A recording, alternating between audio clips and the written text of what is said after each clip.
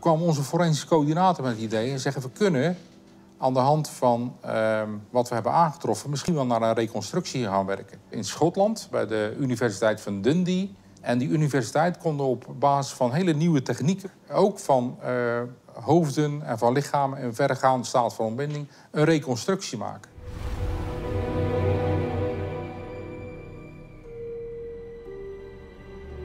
Er zit een professor die kan reconstrueren uh, hoeveel huid er op bepaalde plaatsen gezeten heeft.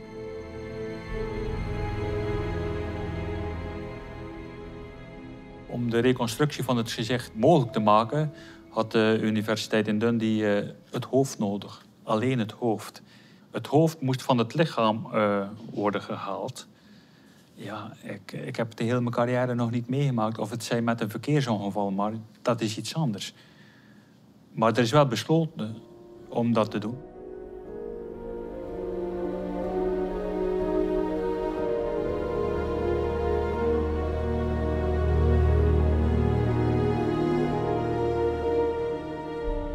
Ja, het, het, lichaam krijgt in één keer een gezicht. En dan zie je ook gelijk dat het een jonge man is geweest. Dus dat doet ook wel wat met je als mens. Dat je denkt van nou, hier is een heel jong persoon door een misdrijf om het leven gekomen. Dat, dat motiveert nog extra om te zeggen van nou, dan wil ik nu ook echt weten wie het was.